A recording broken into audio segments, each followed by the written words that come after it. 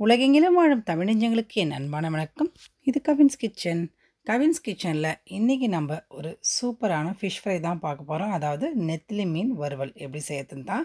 So மிளகாய்த்தூள் வந்து உதிராமல் எப்படி இதை சூப்பராக மொறுமொறுன்னு வறுக்கலாம் அப்படின்றதான் பார்க்க போகிறோம் ஸோ இந்த வீடியோ பார்க்குறதுக்கு முன்னாடி இது வரைக்கும் நம்ம சேனலை சப்ஸ்கிரைப் பண்ணாதவங்க சப்ஸ்கிரைப் பண்ணி வச்சுக்கோங்க. கூடவே பக்கத்தில் இருக்கிற பெல் ஐக்கானையும் ப்ரெஸ் பண்ணி சேவ் பண்ணி வச்சுக்கோங்க.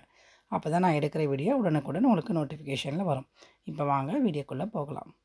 ஸோ இன்றைக்கி வந்து நம்ம நெத்திலி மீனை வச்சு சூப்பரான ஒரு ஃப்ரை பண்ண போகிறோம் அதுக்காக நல்லா வந்து நான் வந்து ஒரு ஒரு கிலோ அளவுக்கு நெத்திலி மீனை நல்லா சுத்தம் பண்ணி அலசி எடுத்துகிட்டு வந்திருக்கேன்.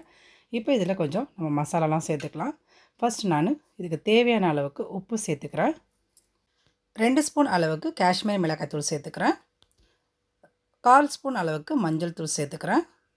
ரெண்டு ஸ்பூன் அளவுக்கு காரத்தூள் அதாவது தனி மிளகாய்த்தூள் ஒன்றரை டேபிள் ஸ்பூன் அளவுக்கு குழம்பு மிளகாய்த்தூள் ரெண்டு ஸ்பூன் அளவுக்கு சோம்புத்தூள் அதாவது பெருஞ்சீரகத்தூள் ரெண்டு ஸ்பூன் அளவுக்கு கரம் மசாலாத்தூள் இது எல்லாத்தையும் சேர்த்தாச்சு. இப்போ இது கூட ஒரு அரை மூடி அளவுக்கு எலுமிச்சை சாறு இதோட சேர்த்துக்கலாம்.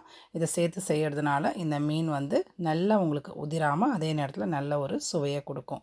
ஸோ இப்போ இது எல்லாத்தையும் பிழிஞ்சாச்சு. இப்போ இதில் நான் தண்ணி கலக்காமல் இதை அப்படியே ஃபஸ்ட்டு முதல்ல கைகளால் எல்லாத்தையும் நல்லா அந்த மாதிரி மிக்ஸ் பண்ணிக்கலாம்.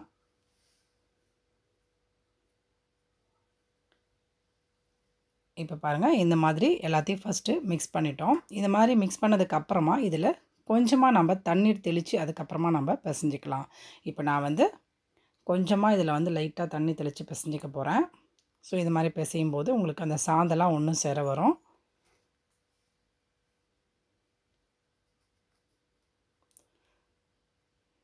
மறுபடியும் கொஞ்சம் தண்ணி தெளித்து மறுபடியும் நான் பிசைஞ்சிக்கிறேன். இப்போ பாருங்கள் எல்லாத்தையும் நல்லா பிசைஞ்சு வச்சாச்சு. இப்போ இந்த பிசைஞ்ச இந்த மீன் வந்து நம்ம ஒரு பத்து நிமிஷம் அப்படியே ஊற விட்டுடலாம் ஊற விட்டதுக்கப்புறமா நம்ம இதை போட்டு பொரித்து எடுத்துடலாம். இப்போ இது அப்படியே வச்சுருவோம். ஓகே ஃப்ரெண்ட்ஸ் இப்போ பாருங்கள் டென் மினிட்ஸ் கழித்து நம்ம பார்க்கும்போது மீன் நல்லா மசாலாவோட ஊறிடுச்சு. இப்போ அடுப்பில் நான் ஒரு இரும்பு தோசைக்கல் வச்சுருக்கேன். இப்போ இதில் ஒரு டேபிள் ஸ்பூன் அளவுக்கு எண்ணெய் ஊற்றிக்கலாம்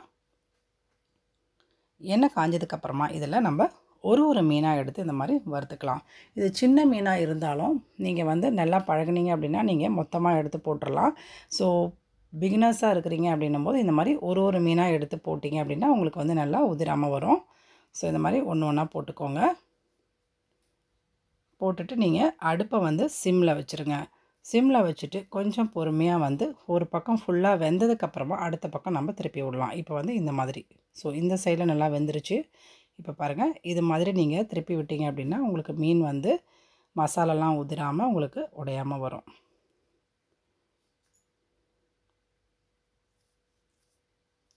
ஸோ இதே மாதிரி நான் எல்லாத்தையும் இந்த மாதிரி திருப்பி விட்டுக்கிறேன். இப்போது இந்த சைட்லேயே வந்து மீன் நல்லா வெந்துருச்சு. இப்போ வெந்துருச்சு அப்படின்னு பாருங்கள் இப்போ நான் அதை எடுத்து காமிக்கிறேன். ஸோ நல்லா கிறிஸ்பியாக உங்களுக்கு நல்லாவே வெந்துருச்சு. அவ்வளோதான் இப்போ இதை நம்ம எடுத்துடலாம். இப்போ இதே மாதிரி நான் இன்னொரு பேட்ச் போட்டுக்கிறேன். ஸோ நான் வந்து கொஞ்சம் மொத்தமாகவே எடுத்துட்டு அப்படியே போட்டுக்கலாம். ஸோ இது மாதிரி போட்டுக்கலாம். நீங்கள் வந்து போட்டுட்டு லைட்டாக தோசை திருப்பியால் இந்த மாதிரி அங்கங்கே கொஞ்சம் கொஞ்சமாக இந்த மாதிரி எடுத்து விட்டுருங்க.